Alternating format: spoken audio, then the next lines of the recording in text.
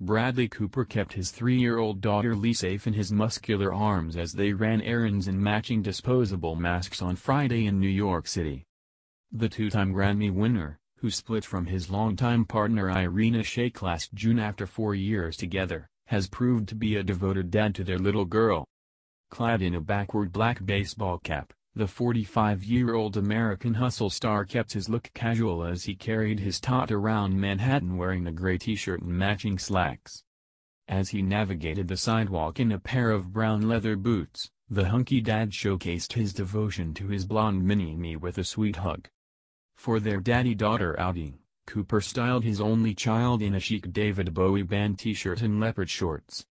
While the actor and his supermodel ex, 34, have been broken up for a year, they are regularly seen co-parenting. Back in March, a source told E! News of their custody arrangement, they are working out how to be single parents and co-parent their daughter together. They both have been working and traveling a lot so there is always scheduling to figure out. They have a good system in place for Lea and they take turns with her. They also come together as a family and do things when they can. They communicate a lot and are good friends. The insider added, they both love their daughter more than anything and they come together for her. They are getting along well and everything is very positive. Shayk previously discussed their split in her March cover interview for British Vogue, two great people don't have to make a good couple. I think we've been very lucky to experience what we had with each other. Life without B is new ground.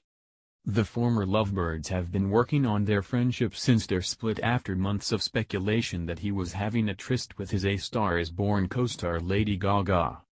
However, both Cooper and Gaga long denied that there was anything romantic between them off-screen.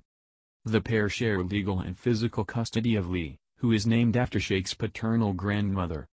After their breakup, People confirmed the cover girl's number one priority was their daughter and reiterated she is a hands-on mom. She recently sparked dating rumors with art dealer Vito Schnabel, 33, at the end of March, as they broke social distancing rules to hang out.